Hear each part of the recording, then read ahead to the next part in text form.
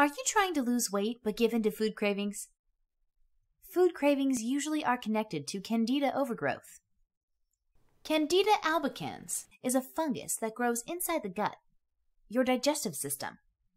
It is estimated that 70% of people have it. That's over 211 million Americans. Normally, good bacteria control the spread of candida. However, poor nutrition and antibiotics kill off the good bacteria, allowing candida to take over.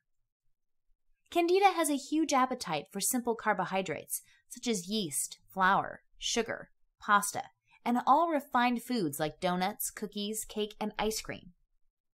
Candida provokes your cravings for these high carb, high calorie foods. The fungus creates little pockets in the intestinal wall where food is trapped and eventually ferments. This rotting, fermented food causes belly bloat, gas, and constipation. It also leads to brain fog, poor concentration, and fatigue. There are foods you should eat and others to avoid in order to starve out candida. Learn more by clicking the link below.